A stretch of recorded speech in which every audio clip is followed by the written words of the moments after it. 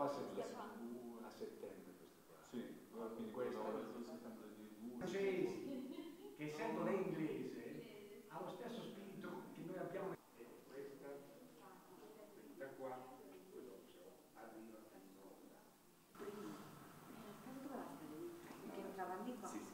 Non lo so, c'era un corpo di fabbrica. Che abbiamo documenti storici sicuri e certi della sepoltura avvenuta il 15 luglio 1542 della Lisa Ghirardini, la prima modella della Gioconda di Leonardo.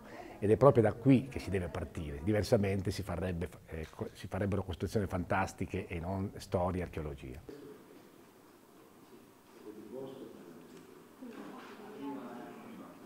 Quindi adesso stiamo entrati in quello che io chiamo nel cuore, nel momento top, nel momento più importante, dove queste sepolture, che probabilmente eh, eh, ma do, dovranno essere verificate attraverso il carbonio 14, l'esame istologico per darci l'età, sono del periodo benedettino, quindi rivolte con la testa dove c'era l'altare durante il periodo benedettino.